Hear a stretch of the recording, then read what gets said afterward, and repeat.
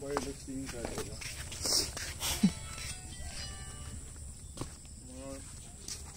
ऐसा कहते हैं पहले कि यहाँ बहुत बड़ा सा गाँव हुआ करता था तो यहाँ पर तो आपका कहीं डूब गया है।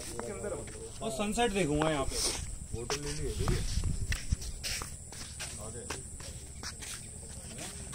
लोटस है। वही ना।